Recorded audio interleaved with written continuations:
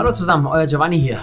Wir beginnen mit Folge 1 beim Backstage Brunch oder vom Backstage Brunch und das wird wirklich eine sehr, sehr besondere Folge. Es treffen sich Gabriel Kelly und Nadia Benaisa. Nadia kenne ich schon sehr, sehr lange. Gabriel durfte ich bisher noch nicht kennenlernen.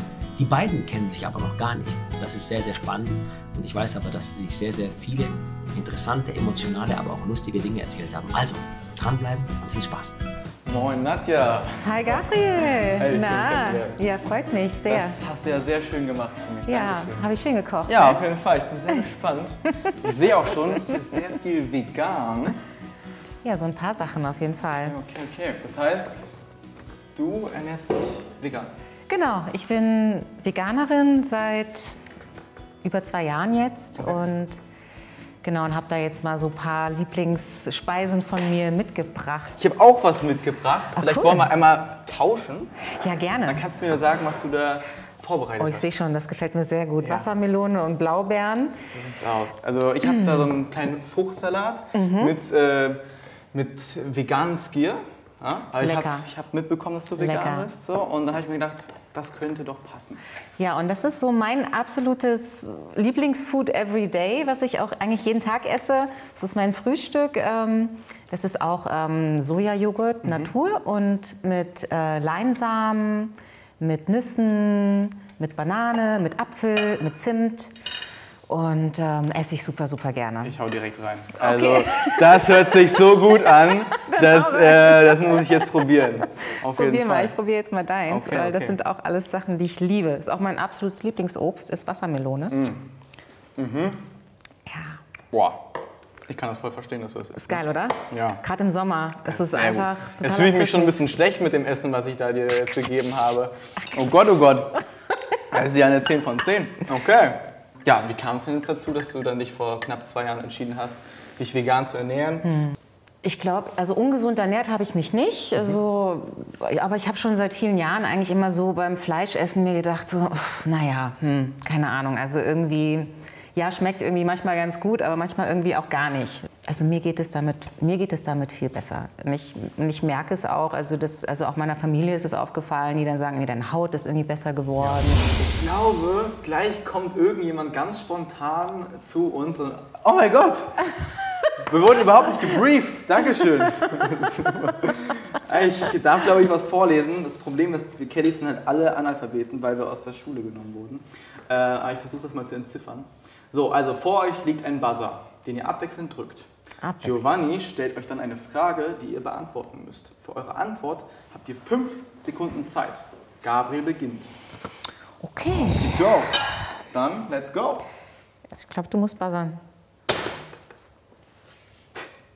Ja, das ist Giovanni. Gabriel, Moin. hast du schon mal bei deinem Alter gemogelt? Ja, hab ich. Ich ganz oft. Also, also ja, doch, natürlich. Also, ich bin noch so ein kleiner Bub, der dann, bevor er volljährig war, natürlich irgendwie in Alkohol oder Kippen ran wollte oder sowas. So, ne? Dann geht man immer in irgendeinen so einen Kiosk rein und dann sagt man, dass man nicht irgendwie aus der Gegend ist und so und dann klappt das. So einer bist ja, du. ist schlimm. It's your turn. Alles klar.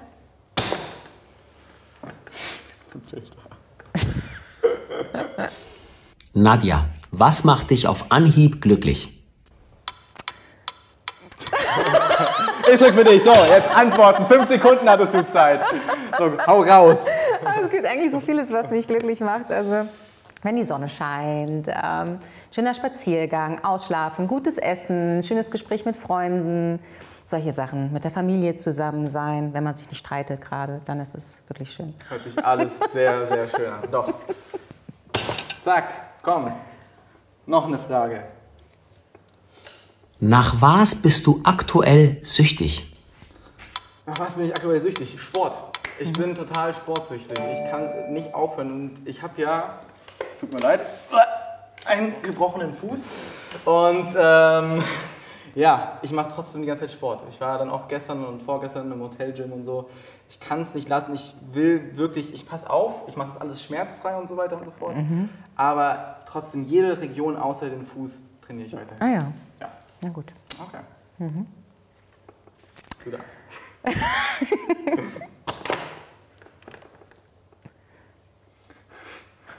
Was ist dein Must-Try-Rezept? Mein Must-Try-Rezept, also habe ich ja eigentlich schon hier vorgestellt, also mein absoluter Liebling zurzeit. Äh, aber es, ist, es, wechselt sich auch immer so ein bisschen absaisonal. Also im Sommer ist es halt dieser ähm, Sojajoghurt mit, mit Obst und Nüssen und Leinsamen und Haferflocken. Und im Herbst bin ich halt total der Kürbis- und Kartoffelfreak. Und äh, im Winter ähm, auch Kürbis und Kohl und Bohnen und Linsen. Also es ändert sich immer so ein bisschen je nach Jahreszeit. Wenn es ja. warm ist, möchte ich gerne was Kühles essen und dann, wenn es so langsam kalt wird, dann freue ich mich auf die heißen Sachen aus dem Ofen. Ah, Giovanni. Der Giovanni. Vergib mir bitte. Hast du ein geheimes Talent? Ich habe ein geheimes Talent, nämlich, das bringt keinem was, ich kann laut schnalzen. Das war's. Das könnte man ja als Sample irgendwo einbauen. Ja, das habe ich auch schon überlegt. Das ist eigentlich äh, gar nicht mal so eine Noch gute so irgendeinen Idee, Amp aber- drauflegen. so, bin ich jetzt noch mal dran oder Ja. habe ich noch Soll einen? ich sonst noch ein Schnalz-Solo einlegen? Oder? Nein. Nein, nein, nein, das ist okay. Okay. Was singst du unter der Dusche? Dusche. Ehrlich gesagt ähm, singe ich nicht unter der Dusche, Ja. weil ich singe so sehr, sehr viel, aber unter der Dusche bin ich dann so voll so so mit anderen Sachen beschäftigt. Ah, warmes Wasser, ja. Und ich bin auch so eine, die immer so dasteht und so das Ganze so aufs Gesicht so. Ja. Das geht mir genauso. Das jetzt wirklich, ich stehe da nur so, ah, gar keinen Bock mehr auf Singen oder so.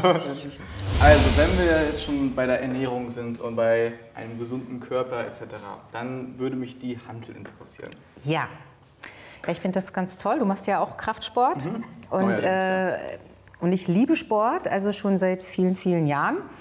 Und jetzt ähm, bin ich halt total drin. So, also auch Kraftsport, aber natürlich auch mal Cardio oder Ja. auch mal HIIT oder. Und ne? angehende Fitnesstrainerin, habe ich gehört. Richtig, ne? genau. Ich mache jetzt meine A-Lizenz. Okay. Und ja, weil ich einfach so viel Zeit beim Sporteln äh, also vertreibe, mir vertreibe. Und ich dachte mir, ja komm, also kannst du eigentlich auch, es macht mir auch so viel Freude und so viel Spaß. Und das ist wirklich so die größte Leidenschaft für mich neben der Musik. Ja. Und habe einfach auch Lust, in dem Bereich ähm, freiberuflich zu arbeiten neben der Musik. Sehr cool. Ja. Finde ich super, weil bei mir ist es halt auch so, ich war immer schon so ein totaler Sportfanat und ähm, also habe mit fünf- 15 schon dann ganz früh angefangen und so, aber halt auch jetzt nicht Bodybuilding oder so, sondern Ja. halt immer mit Körpergewicht und Mit Bodyweight, ja, cool. Und dann ging das auch für ein, zwei Jahre ganz gut. Dann waren wir aber auch super viel auf Tour und du weißt, wie das ist. Hm. Manchmal ist man da so im Stress und dann einfach you eat what you get. So, weißt du, ne? Und dann immer das Erstbeste und so. Und dann war es schon so ein bisschen schwieriger. Und dann ähm, ja, hatte ich Anfang des Jahres eine, eine Herz-OP gehabt. Hm. Und äh, daraufhin musste ich dann so Beta-Blocker nennen, äh, nehmen, nennen, Mhm. Ja. nennen die sich genau, die Beta-Blocker. Und, ähm, und bei mir haben die halt so aufgehend gewirkt. Ne? Also Mhm. ich, ich war ganz träge und so und dann habe ich noch sehr viel Gewicht äh, zugenommen. Und dementsprechend habe ich mich dann dazu entschlossen, ein Projekt zu starten, wo ich dann halt diese Oldschool-Diet mache, worüber wir schon gesprochen hatten. Mhm. Und dann dazu aber auch sechsmal die Woche halt hartes, intensives Training. Und dann habe ich jetzt in den letzten acht Wochen sieben Kilo äh, verloren. Mhm. Und Muskeln aufgebaut. Muskeln aufgebaut. und, äh, und ich muss sagen, dass es war, dieses Jahr war gleichzeitig das, äh, vom, also vom, vom körperlichen her das schlechteste und jetzt das beste Jahr. Ja, genau. Also deswegen liegt hier die Hand herum. Und ähm, diese wunderschönen Edelsteine, die symbolisieren eigentlich so diesen ganzen spirituellen und ganzheitlichen, gesundheitlichen Wachstum und meine Genesung in den letzten Jahren. Also ich habe in den letzten Jahren sehr viel an mir gearbeitet und auch arbeiten müssen und ähm, habe viel verändert. Also ich war viel in Therapie, ich habe äh, meine Ernährung umgestellt, ich habe ähm, meine Perspektiven verändert und ähm, es war einfach wirklich notwendig und ich habe das Gefühl, dass ich eigentlich heute glücklicher bin, als ich es jemals war. Also dass ich, und das ist, das ist eigentlich so, das macht das irgendwie so alles für mich gerade aus. Deswegen liegen da diese Gegenstände. Das freut mich für dich. Ja, das, danke. Das klingt schön. Also, wenn du es schon sagst, du, du hast dich jetzt verbessert in den ganzen letzten Jahren Mhm. und hast dich da immer mehr selber gefunden, hast du dann auch, also bist du religiös, hast du dann auch ähm, näher, also Nähe zu Gott gefunden oder zu jemandem, an den du glaubst?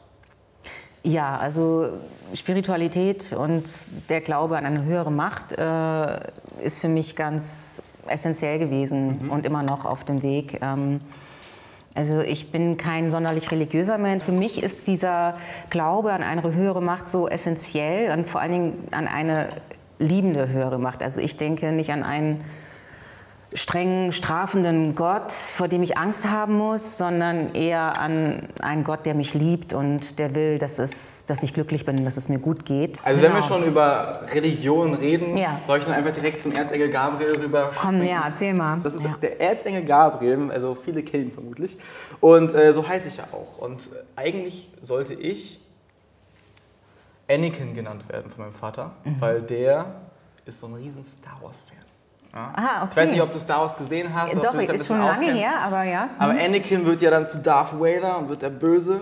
Und dann meinte meine Mutter, nein, das kannst du nicht machen, ja. er wird böse. Hat so. sie recht. Und äh, da sie dann da auch in der Zeit so zu Gott gefunden haben, war es dann, ja, okay, gut, wir nennen ihn Gabriel. Ne? Und, ja. ähm, und deswegen Erzengel Gabriel, aber auch natürlich ähm, Gott und die Heiligen an sich und so, das sind für mich ganz, ganz wichtige ähm, Rollen äh, so in meinem Leben mhm. und an die ich mich immer wenden kann. Äh, das Wohnmobil, das ist bei uns Kellys ja so ein Ding. Ne? Wir mhm. reisen ja um die ganze Welt die ganze Zeit und können nirgendwo an einem Ort bleiben. Und äh, meine Eltern haben sich dazu entschieden, mhm. mich, als ich acht Jahre alt war, aus der Schule rauszunehmen mhm. und zu sagen, wir reisen jetzt für unbestimmte Zeit durch Europa. Mhm. Und das haben die dann auch gemacht. Ne? Eigentlich sollte es nur für ein Jahr sein, am Ende waren es dann vier Jahre. Wow. Und dann sind wir durch ganz Europa gereist und haben dann quasi uns selber finanziert durch Straßenmusik. Mhm. Ne? Oder mein, mein, Vater größtenteils, aber ich bin dann auch oft mitgekommen. Ich war dann immer derjenige, der mit dem, mit dem Hut rumgegangen ist, so mit dem Kinderbonus. Ne? Und dann halt noch ähm, CDs verkauft hat und so. Aber das war dann unser Lifestyle. Das war dementsprechend mein Vater und wir als Familie, wir hatten gar kein Geld. Hm. Null. Ne? Wir, sind, wir haben den Bus gekauft, wir haben den Secondhand oder Thirdhand irgendwo gekriegt von einem Typen, der das Geld richtig dringend brauchte, mhm. war irgendwie 12.000 Euro, für, also ein Jux für so ein, so ein, so ein 9 Meter Teil. So. Und wow, ja. dann sind wir halt irgendwie nur noch mit ja, 2.000, 3.000 Euro los mhm. ins Unwissende mit irgendwie drei, vier Kids und Frau und so weiter. Ne? Und ähm, haben uns dann irgendwie vier Jahre durchgeschlagen. So, und jetzt kommen wir dann zum letzten Gegenstand, nämlich die Klappe. Genau. Was, was denkst du, was hat das auf sich? Ich weiß nicht, bist du angehender Schauspieler oder Regisseur oder bist du viel am Set? Ja, also du bist schon sehr nah dran auf jeden Fall. Ich, zum Beispiel, ich habe ja jetzt demnächst äh, mein Musikvideo dreh, also direkt eigentlich nach diesem Dreh fahre ich dann äh, nach Wuppertal mhm. und dann habe ich da so einen, so Zirkus und alles und ich arrangiere halt sehr viel, aber ich schreibe halt auch selber das Skript immer. Ich finde das total toll. Ich finde, das, das ist so, so eine schöne gesamte Kunst dann, ne? wenn die, die Bilder zum, zum Ton passen, wenn das so alles irgendwie zusammen aus einem Guss kommt. Das finde ich, find ich wunderbar. Ich bin da jetzt kein Control-Freak, aber ich möchte da selber einfach so ja. alles ne, bestimmen wollen. Ja. Und, so. und das ist mir wichtig und deswegen schreibe ich dann auch die Skripte. Ah. Aha. Aha, aha, aha. Oh, das war Dankeschön. schwer. Ist da Geld drin? Ja, ich, das wäre. ja. Dann nehme ich die mal raus. Ich auch. Ach, noch mehr Fragen. Aber wir kennen uns doch schon so gut. Okay. Ähm, möchtest du anfangen? Ich fange an. Okay. Also, Fans sind die Größten. In den Umschlägen vor euch findet ihr Fanfragen für euer Gegenüber. Stellt sie und beantwortet sie gegenseitig ehrlich. Okay. An dich eine Frage. Jo. Geht es in deinem Song Sucht um eine reale Beziehung? Nein. Es geht um eine, also nicht mit einer Person. Mhm sondern äh, mit äh, etwas, was man konsumiert. Also, mhm. ist, also ich habe das extra trotzdem so geschrieben, dass man da viel Interpretationsfreiheit hat, ja. weil viele dann doch mit Sucht bzw. Abhängigkeit zu kämpfen haben. Ja, absolut. Ja, absolut. Das ist ein ähm, großes Thema. Egal in welcher Hinsicht, ja. ob es eine toxische Person ist, ob es dein Handy ist oder ob es Drogen sind. Natürlich. Und dann habe ich das auch dementsprechend so geschrieben, dass man das so interpretieren kann. Ne? Und das war total krass, weil das war meine erste Single, die ich released habe. Mhm. Und nach diesem Song haben mir dann wirklich Leute geschrieben und meinten, ich habe mich aufgrund des Songs jetzt dazu entschieden, mich von meiner toxischen Beziehung zu trennen. Ich äh, mhm. liege gerade hier im, im, Krankenhaus und bin auf Opiumentzug und, und du gibst mir Kraft und, und schenkst mir Motivation, hier rauszukommen. etc. etc. Und das ist, das finde ich halt so krass, was man halt mit Musik einfach erreichen kann. Ja. So, ne? Okidok. Dann hast du eine Marotte. Ja, das sind so Sachen, ich muss dann immer so kontrollieren, ob ich wirklich abgeschlossen habe. Mit meinem Schlüssel ist eigentlich wirklich am schlimmsten. Mit meinem Schlüssel ist wirklich so, ich habe den in der Hand und ich habe so einen ganz langen Schlüsselanhänger, Ja. so, so, ein, so ein langes Band. Und ich lasse das dann aus der Tasche hängen, damit ich weiß, ich habe den Schlüssel dabei, aber ich muss ihn trotzdem anfassen. Ja. Ich muss immer gucken, ist der Schlüssel Ich da? habe das auch mit, mit Portemonnaie und Handy und so. Ah, ja. Immer abtasten und das bei mir auch immer so Ja. alle gefühlt zwei Minuten. Total. So, so oh Gott. Aha, aha, aha. Aha, jetzt kommt was Interessantes. Naja. Gehst du gerne feiern? Äh, ich gehe gerne feiern, aber äh, ohne Alkohol tatsächlich. Oh, cool. Ja, also ich, äh, ich, das ist aber jetzt auch relativ neu. Das ist Mhm. jetzt wirklich, das hat erst dann äh, diesen, diesen Sommer angefangen, also Anfang Juni. Mhm. Ist ganz viel, ist so viel du kannst. Ich hau jetzt rein, so. wenn du redest. So, nee, aber es hat Anfang Juni dann angefangen mit dieser, mit dieser Oldschool Diet Challenge und so weiter. Und da habe ich auch gesagt, ich trinke keinen Alkohol, Mhm. weil äh, ja, Regeneration mit Alkohol ist ein Mhm. bisschen äh, schwierig. Aber feiern gehe ich nach wie vor echt sehr gerne. Also nicht viel, aber wenn ich dann feiern gehe, dann lasse ich halt auch alles raus. So, ne? Das ist halt wirklich dann, dann, ich bin da auch so voll der extrovertierte Typ, der dann wirklich total abshakt und so weiter Mhm. und alles mitmacht. Und das macht mir Spaß. Ich tanze gerne. So, was ist dein Lieblings-Beauty-Produkt? Meine Haut braucht viel Feuchtigkeit, Creme, meine Haare brauchen viel Feuchtigkeit. Ich habe das Gefühl, ich bin immer so durstig. Mein ganzer Körper ist immer so, Ja. gib mir irgendwas, gib mir Ja. was. Also, also natürlich äh, Wasser von innen, aber ich liebe es einfach. Ich habe so meine Routine, wenn ich dann geduscht habe und dann mache ich mir erstmal mein, mein Gesichtsserum und dann mache ich mir meine Creme und dann meine Bodylotion und dann kommt noch das Öl in die Haare und, und dann fühle ich mich so richtig so hydrated, so Okay. richtig, weißt du, so, Naja, richtig so- so ah, okay. Okay, here I'm coming. So, Genau, weißt du, wirklich ne? so. Dann fühle ich mich richtig so, so, so gut. Und ähm, mir ist einfach wichtig, natürlich auch in der Kosmetik, dass sie vegan sind. Das ist eigentlich so das, worauf ich achte. Okay. Hast du ein tägliches Ritual? Ähm, ja, ich äh, bete täglich vorm Hm. Schlafengehen. Ja, also das ist für mich immer so das Letzte, bevor ich schlafen gehe. Dann bete ich nochmal, bedanke mich einfach bei Gott für den, den Tag und für das Leben und äh, Privilegien und alles was, alles, was er mir mitgegeben hat und so, weißt du. Und ähm, genau, bedanke mich und bitte halt dann auch einfach für die Menschen, denen es halt gerade nicht so gut geht und ähm, schicke halt noch einfach ein paar Gebete nach oben für die, die es vielleicht brauchen oder so. schön. Und ähm, das ist so mein tägliches Ritual, was ich immer einhalte und immer einhalten möchte. Ja, Toll. Voll schön. Voll schön. Dankeschön. So, dann ähm, gibt es ein Outfit aus der Anfangszeit mit den No Angels, das du behalten hast. Nein. verbrannt! Weg damit! Abgeschlossenes Kapitel. Nein, nicht deswegen, aber come on. Also ich meine, die Sachen, also als ich 18 war, die passen mir heute nicht mehr, ganz ehrlich. Und, äh, Nein, ich habe ähm, tatsächlich nichts mehr von den alten Sachen, aber das liegt auch einfach daran, weil ich ein Mensch bin, der keine Sachen hortet. Also sogar mein Keller ist komplett aufgeräumt und äh, entrümpelt und sortiert. Ja.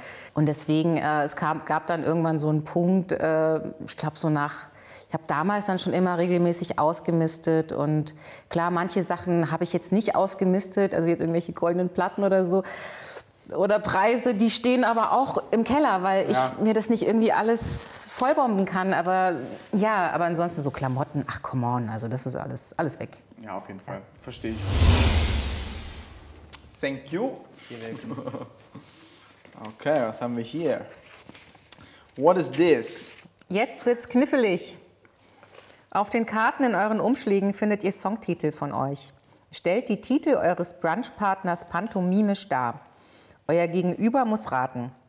Erkennt ihr eure eigenen Songtitel, wenn sie euch so vorgestellt werden? Nadja, du fängst an. Okay.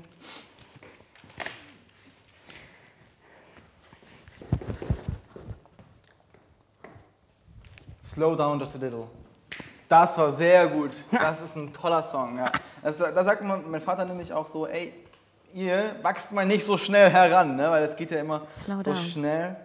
mit uns und ich glaube, du kennst es auch vermutlich von deiner Tochter. Ja. Zack, erwachsen Ja, ja. und weg. So, jetzt fange ich mal an. Ähm, ich glaube, ich muss da gar nicht aufstehen. Warte. Also.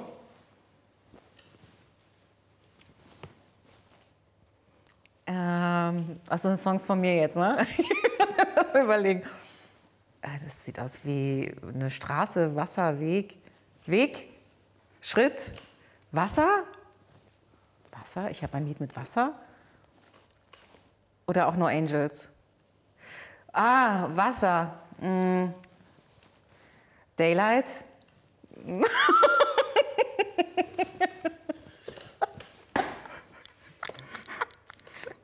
Tanzen. Wasser. Wassertanz. Smile. Lächeln. Lachen. Freude. Rivers of Joy. Ja, danke schön. Oh mein Gott, ey. What a trip. Uh. Das immer so, so, so endpeinlich. Wie soll ich immer das machen, ey? Love, ja. Heart. Irish Heart. Okay. Ich habe überlegt, wie ich Irish machen Ja, soll. ja. Ich so, ja, ja. So. Easy.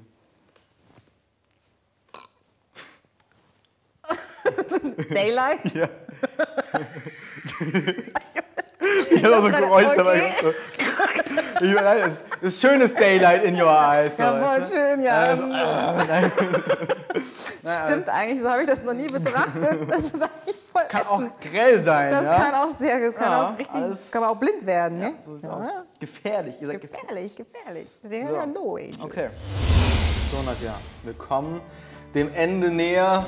Das Essen ist zwar noch nicht leer, aber das machen wir dann gleich. Mhm. Aber es war sehr schön, mit dir gegessen zu haben, gesprochen zu haben, dich kennengelernt zu haben. Und ähm, ich muss sagen, dieses Format ist total toll. Ich wünsche, es gibt mehr sowas. Ne? Mhm. Ja. Aber vielleicht ist es auch gerade deswegen so cool, weil es es halt bisher noch nicht gibt. Und ähm, ich konnte einen Menschen komplett neu kennenlernen und dafür bin ich sehr dankbar. Ähm, und ja, deswegen überlasse ich dir jetzt vielleicht noch irgendwie ein paar letzte Worte.